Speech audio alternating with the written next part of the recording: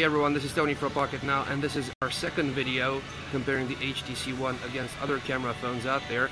And we are in a underground parking trying to emulate low light and night performance. And as we move slowly towards the light, we should see some exposure compensation going on right there. And one more right about here. And uh, the HTC One keeps losing focus in these conditions and let's see how quickly it gains it back. There we go, and moving in for a close-up.